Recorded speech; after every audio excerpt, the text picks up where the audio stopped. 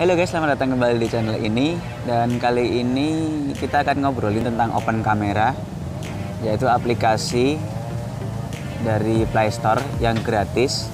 Dan dia bisa difungsikan sebagai untuk merecord video sekaligus juga untuk mengambil foto seperti ini. Ini foto dan ini mode video. Nah kenapa saya ingin membahas aplikasi ini karena aplikasi ini uh, simple yang pertama. Kemudian fungsinya juga banyak sekali. Dan saya akan bahas satu-satu di sini.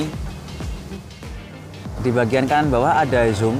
Jadi kalian bisa menggunakan ini untuk zoom. Kalian geser kiri atau kanan. Kiri untuk zoom. Sampai 8 kali. Kalau di HP saya. Nah di bagian atas kanan juga ada setting untuk di sini untuk setting ISO. Kalian bisa gunakan 100 sampai 3200 kalau tempat saya. Dan di bawahnya juga ada exposure. Kalau ke kiri nanti gelap, kalau ke kanan nanti terang. Seperti ini ya. Nah, di kanannya di bagian kanannya ini ada untuk lock. Jadi exposure lock. Uh, fungsinya exposure lock itu untuk uh, mengelok cahaya. Jadi kalau kalian ini seumpama ini ya. Nah ini terang. Kalau kalian lock maka exposure-nya tidak berubah. Di bagian yang terang juga akan teramat sangat terang. Kalau kita buka locknya Nah, baru berubah seperti ini. Nah, kalau kita lock di bagian terang, maka ketika kita pindah di bagian gelap, maka akan sangat gelap sekali. Seperti ini. Nah, kalau kita buka, nah, baru eksposurnya akan berubah. Nah, di kanannya lagi ada pengaturan yang cukup kompleks di sini. Kalian bisa menghidupkan center, kemudian fokusnya juga kalian bisa rubah kemudian video resolusinya bisa dirubah speednya timer repeat. Nah kemudian di sini ada juga uh, apa ya ini grid. Gridnya ini bisa kalian rubah tiga kali tiga atau pi atau empat kali dua atau crosshair atau golden ratio dan lain sebagainya. Tapi di sini saya lebih suka pakai tiga kali tiga biasa.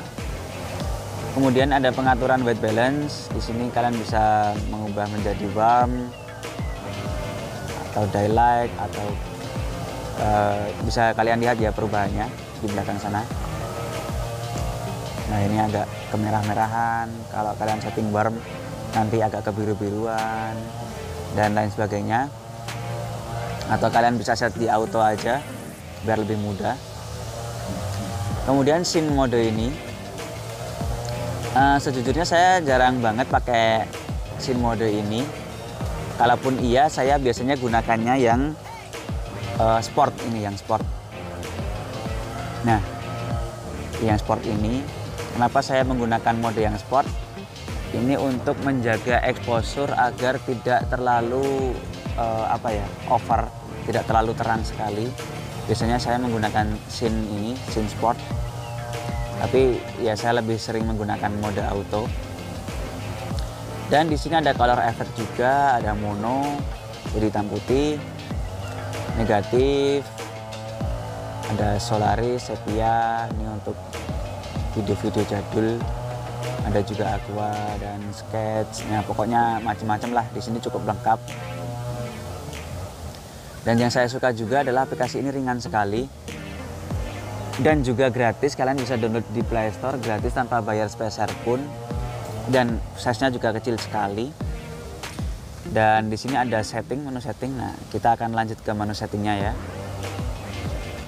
Nah, di menu setting ini karena saya sering menggunakan ini untuk mode video, jadi saya akan menjelaskannya untuk mode video saja. Yaitu ada video resolution, kalian bisa pilih.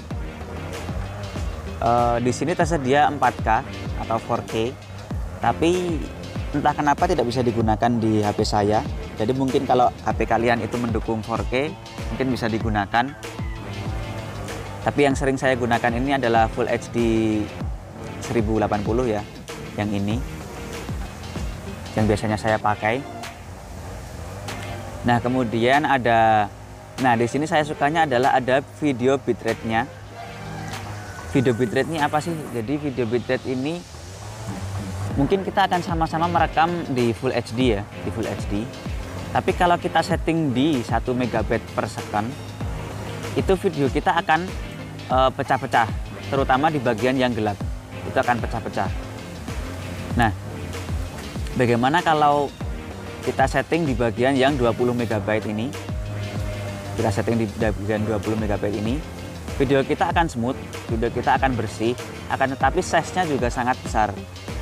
Jadi mungkin kalau di, kita setting di 1 MB per second, itu satu menit cuman uh, berapa puluh mega gitu ya kalau disetting di 20 megabit per second itu mungkin bisa sampai e, ratusan megabyte dalam satu menit. Nah, saya sukanya karena video kamera saya ini tidak terlalu bagus dan tetapi saya ingin e, untuk menangkap video yang cukup bagus, makanya saya menggunakan yang 10 mega atau yang 15 biasanya. Tapi untuk e, menghemat memori saya menggunakan yang 10 megabyte. Nah, kemudian video frame rate juga bisa dirubah sampai 120 tapi sekali lagi ini tergantung dari support uh, ponsel kalian kalau memang ponsel kalian support itu 60 fps maka bisa digunakan 60 fps tapi kalau tidak bisa maka akan default ke 30 fps kemudian di sini ada maksimum durasinya juga tapi saya tidak setting. Kemudian apa ya? Hmm, nah ini. Yang saya suka lagi adalah record audio. Di sini disediakan pilihan external mic jadi untuk smartphone kadang smartphone itu tidak bisa merekam audio dari headset kalau kalian menggunakan headset terkadang kamera itu tidak bisa merekam audio dari headset Nah, sedangkan di sini disediakan eksternal mic. Jadi saya ini merekam menggunakan mic eksternal.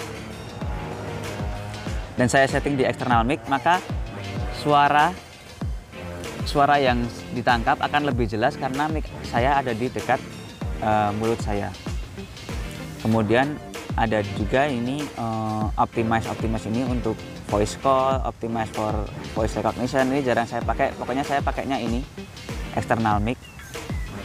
If present jika ada jadi kalau tidak ada external mic maka uh, otomatis kamera akan men-setting mic-nya menggunakan mic dari internal HP tapi kalau ada maka akan disetting otomatis di external mic nah ini juga ada audio channelnya. Kalian bisa setting ke mono atau stereo. Nah ini stereonya ini hanya mensupport device-device tertentu. Kalau di tempat saya ini mungkin tidak mensupportnya jadi ya udahlah. Mau stereo atau mono pun uh, mikrofon saya ini mono jadinya ya udahlah saya setting ke default aja oh ya ada satu lagi di bagian kiri atas ini kalian bisa uh, melihat waktunya bagian kiri atas ini sekaligus sisa memorinya. Jadi punya saya ini 3,1 GB itu sisa memori. Dan di atasnya itu adalah jam. Jadi jam 10.47 pagi ini saya menjelang siang uh, record video ini. Oh ya, di sini support juga kamera depan. Jadi kameranya depan pun bisa support sampai 1080 Nah, di sini contohnya hmm, kamera depan saya kotor, jadi agak berbayang. Dan di sini support 1080.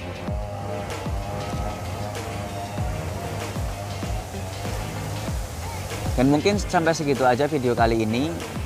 Uh, alasan kenapa saya suka open kamera seperti yang saya bilang tadi karena pertama itu ringan, kedua itu gratis, yang ketiga adalah support bitrate tadi yang cukup penting juga support bitrate. Itu fungsi banget kalau kalian mau memvideo malam-malam atau sore. Itu karena ada bagian-bagian yang gelap maka kalian bisa setting bitrate-nya dibesarin sedikit ke 20 agar video kalian lebih jelas. Dan hampir semua video yang saya uh, rekam di channel-channel saya saya menggunakan open camera ini. Mau saya rekamnya pakai Zenfone atau mau rekamnya saya pakai uh, Andromax A yang dulu saya gunakan yang kameranya cuma 8 megapiksel tapi bisa sangat optimal ketika ditunjang dengan aplikasi yang optimal juga seperti aplikasi ini uh, dan mungkin sampai segitu dulu video kali ini semoga kalian suka semoga ini bermanfaat juga buat teman-teman semua jangan lupa untuk like kalau kalian suka video ini share juga ke teman-teman kalian yang sekiranya suka dengan fotografi atau videografi. Dan kalau mau tanya-tanya silakan di kolom komentar atau DM saya juga boleh, komen di eh, Instagram saya juga boleh di Jomblografer. Dan ya sampai jumpa di video selanjutnya. Semoga ini bermanfaat.